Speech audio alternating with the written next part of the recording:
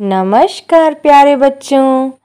आज हम पढ़ेंगे कविता आम की टोकरी। हाँ मेरे प्यारे बच्चों।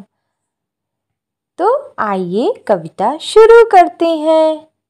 छ साल की छोकरी भर कर लाई टोकरी।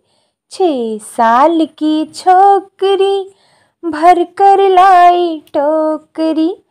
टोकरी में आम है, नहीं बताती दाम है। टोकरी में आम है, नहीं बताती दाम है। दिखा दिखा कर टोकरी, हमें बुलाती छोकरी।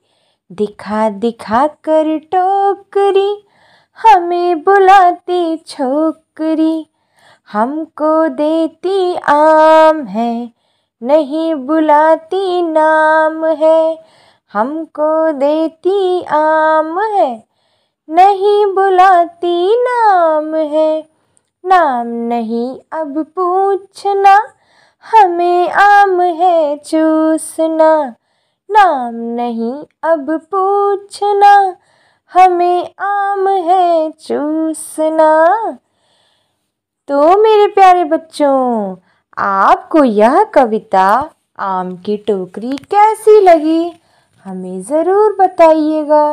धन्यवाद।